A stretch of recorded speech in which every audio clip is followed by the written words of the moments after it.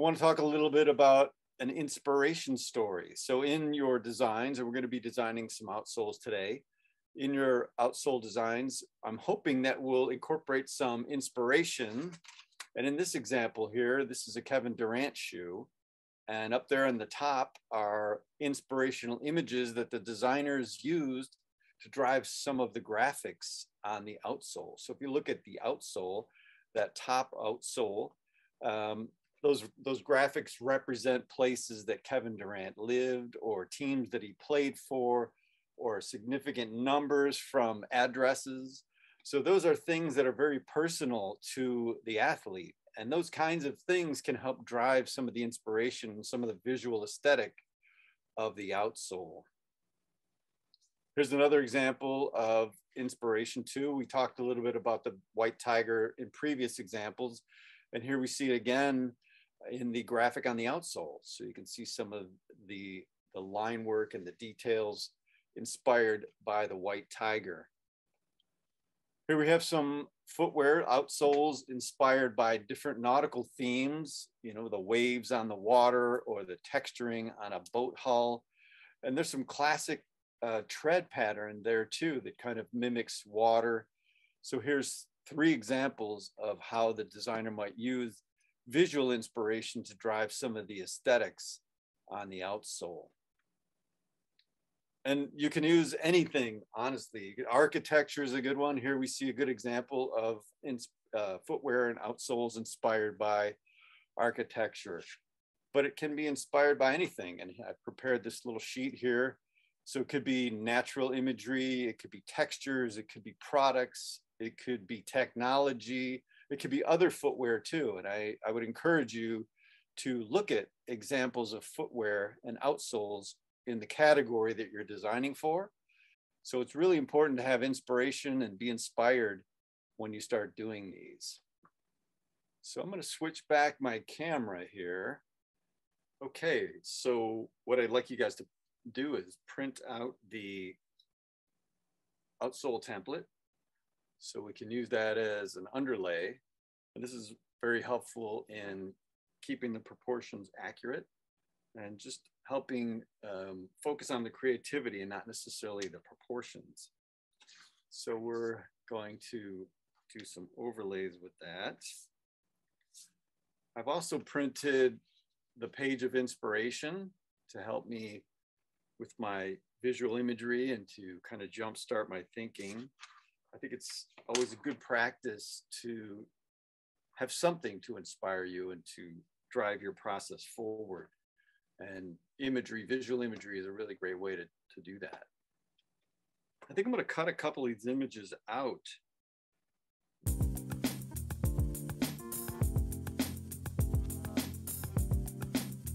to include these on my drawing show the viewer what my inspiration was when I was creating these ideas.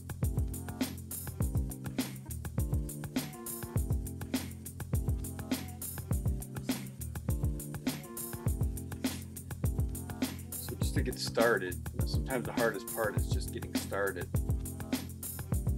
We'll start with just the silhouettes, just to kind of warm up a little bit.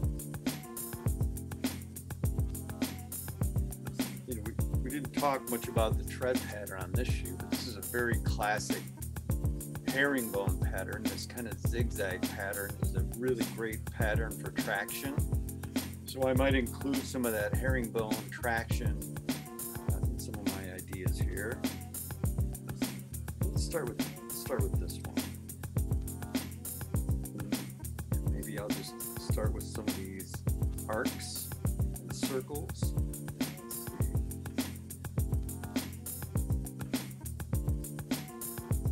Graphics inspired by this floor layout of a basketball court. Similar lines to the basketball. So let's, see we can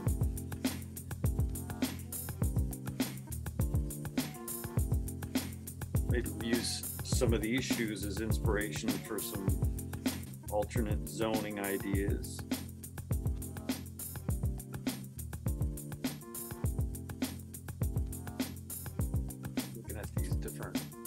Breakups in this one here where there's these little zone areas with different textures.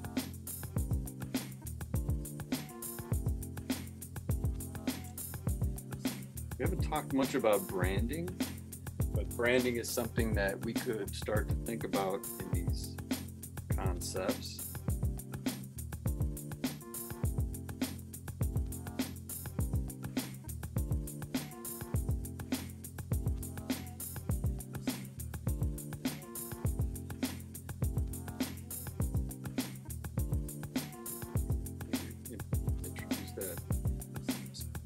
Basketball lines again, these kind of circular sweeping lines.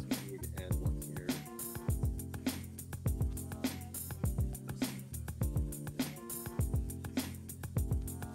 It's nice to have a story to go with your ideas so that there's a little bit more to it than just graphics. So we're we're going to talk about the court as inspiration, the ball as inspiration, and we haven't really introduced the netting. But there's this interesting diamond pattern that's created by the netting. Maybe there's something we could do with that.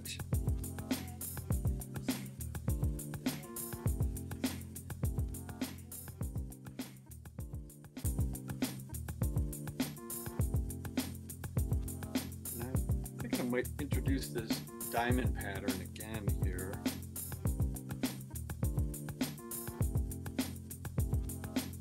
Maybe we might need some herringbone up in the toe area here.